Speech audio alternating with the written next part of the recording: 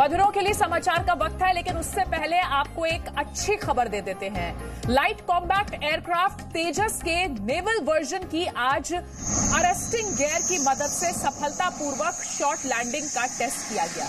DRDO और aeronautical development agency ने गोवा तट पर यह कामयाब टेस्ट किया। इस तकनीकी सफल परीक्षण के बाद अब एलसीए तेजस के नेवल वर्जन को विक्रमादित्य विमान वाहक पोत पर तैनात किया जा सकेगा। अरेस्टिंग गेयर का इस्तेमाल फाइटर प्लेन को वॉरशिप पर लैंडिंग के लिए किया जाता है।